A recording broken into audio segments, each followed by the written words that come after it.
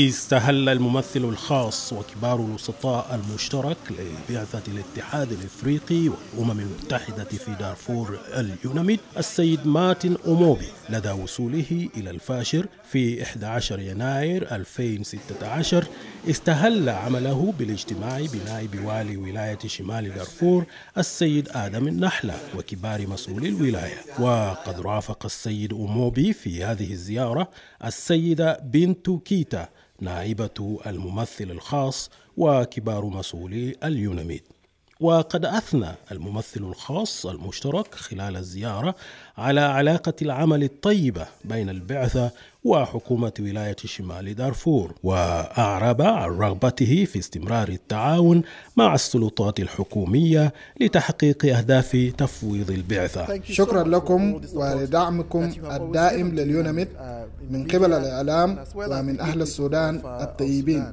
وبناء على ذلك أود أن أقول أنا هنا لنواصل مسيرة العمل معا من أجل السلام بإقليم دارفور.